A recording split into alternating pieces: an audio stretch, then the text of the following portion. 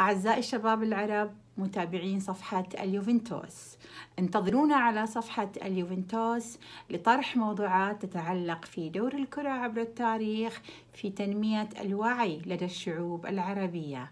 ننتظركم فانتظرونا.